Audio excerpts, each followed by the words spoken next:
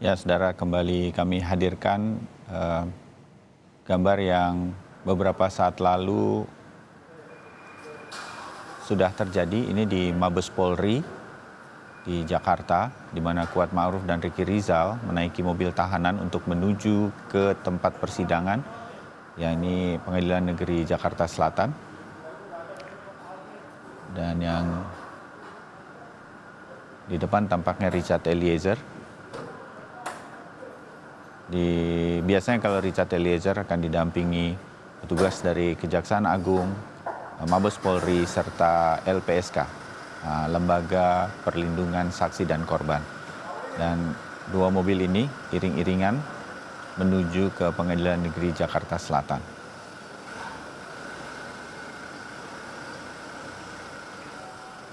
Sambil kemudian nanti kita menunggu, uh, kita akan tanyakan kepada jurnalis Kompas TV yang sudah dari tadi berada di Pengadilan Negeri Jakarta Selatan, Dian Silitonga sudah berada di sana. Dian, selamat pagi Anda berada di Pengadilan Negeri Jakarta Selatan.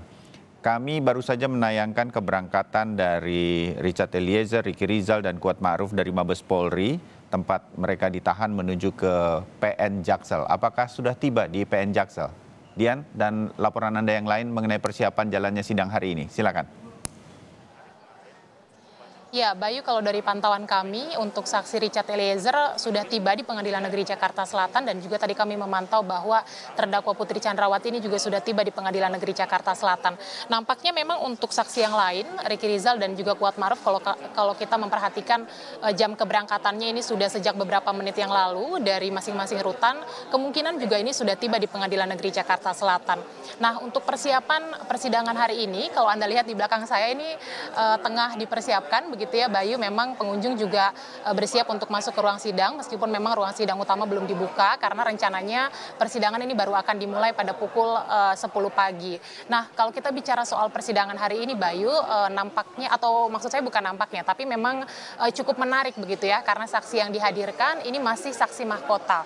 Meskipun seperti yang tadi juga sempat Anda sampaikan Bayu bahwa sebenarnya kalau kita bicara kelima terdakwa kasus pembunuhan berencana ketika mereka dihadirkan sebagai saksi kelima-limanya ini kita sebut sebagai saksi mahkota. Karenanya kesaksian eh, masing-masing ini menjadi per, uh, pertimbangan atau kesaksiannya diperhitungkan untuk meyakinkan majelis hakim.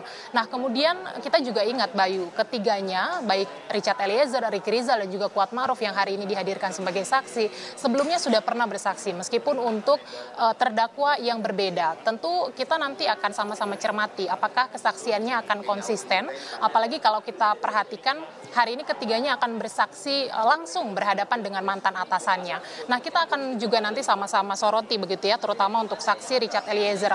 Apakah nanti kesaksiannya akan konsisten dan kemudian kita juga akan saksikan apakah Richard Eliezer nanti bisa memberi keterangan seberani dan juga seluas ketika ia memberikan keterangan pada persidangan sebelumnya untuk terdakwa Richard, uh, Ricky Rizal dan juga uh, Kuat Ma'ruf. Uh, tentu kita nanti juga akan cermati apakah akan ada psikologis yang berbeda karena seperti yang saya sampaikan Richard Eliezer ini berhadapan dengan Ferdi Sambo dan juga Putri Chandrawati. Kita ingat juga pada hari kemarin uh, tim penasehat hukum dari Richard Eliezer ini sempat mengajukan supaya Richard Eliezer bisa memberikan keterangan secara daring. Nah, apakah ini mempengaruhi uh, kesaksian Richard Eliezer atau tidak nanti.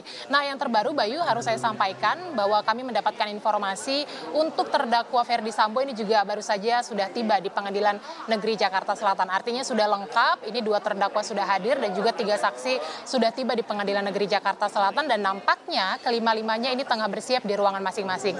Kita akan nantikan tentu saja masih harus bersabar karena masih ada waktu sekitar 60 menit dari sekarang untuk sidang bisa dimulai. Sementara saya kembalikan ke Anda di studio Bayu. Baik, uh, sedikit uh, berkaitan dengan sidang hari ini, apakah banyak uh, warga, uh, warga sipil terutama yang akan mengikuti jalannya sidang? Saya lihat di belakang Anda, Dian, ini uh, sudah banyak uh, tampaknya warga sipil yang bersiap di pintu masuk, begitu ya, Dian? Betul, Bayu. Ya, betul sekali. Memang ini juga menjadi poin yang cukup menarik setiap persidangan kasus pembunuhan berencana terhadap Brigadir Yosua karena antusias warga ini ya bisa saya katakan cukup tinggi ya karena memang bahkan sejak pagi tadi sejak pukul 7 saya sudah memperhatikan banyak sekali warga sipil yang mengantri untuk bisa masuk ke ruang sidang utama untuk menyaksikan persidangan uh, Ferdi uh, persidangan kasus pembunuhan berencana terhadap uh, Brigadir Yosua. Anda bisa saksikan ini banyak sekali yang menanti dan kalau boleh saya sampaikan juga, sebenarnya yang menambah euforia persidangan ini adalah kehadiran dari sejumlah pendukung dari salah satu terdakwa yakni Richard Eliezer yang memang setia hadir dalam setiap jadwal persidangan yang menghadirkan Richard Eliezer baik ketika ia sebagai terdakwa maupun sebagai saksi. Nah, uh, tentu saja saya akan kembali lagi ke materi uh, persidangan hari ini, Bayu. Uh, tadi kalau saya sampaikan kita akan cermati nanti bagaimana kesaksian Richard Eliezer. Kita juga tentu akan cermati nanti bagaimana kesaksian dari Ricky Rizal dan juga Kuat Maruf. Karena kalau kita ingat kemarin ketika Putri Chandrawati menjadi menjadi saksi, ada beberapa poin yang disampaikan oleh Putri Chandrawati terkait dengan keterlibatan Riki Rizal dan juga Kuat Ma'ruf. Misalnya soal keikutsertaan e, perjalanan dari Magelang ke Jakarta. Itu juga poin yang ditanyakan oleh hakim. Apakah Putri Chandrawati mengajak e, para ajudannya atau terutama adalah Riki Rizal dan Kuat Ma'ruf atau tidak? Tapi disampaikan tidak. Nanti kita akan saksikan juga bagaimana e, klarifikasi atau penjelasan dari Kuat Ma'ruf dan juga Riki Rizal terkait dengan hal itu kalau itu menjadi poin pertanyaan majelis hakim. Bayu.